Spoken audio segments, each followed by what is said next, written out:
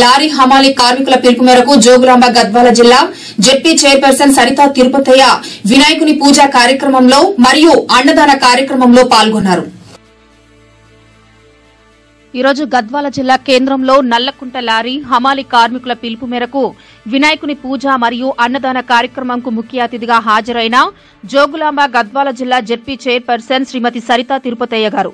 ఈ కార్యక్రమంలో lorry association కార్మికులు బాల గోపాల్ రెడ్డి కొర్రి వెంకట్రాములు గుప్పెర్ వెంకట్రాములు మాస్ నారాయణ రవి నరసింహ రాజు నాగరాజు లారీ అమాలి కార్మిక యూనియన్ వారు పాల్గొన్నారు.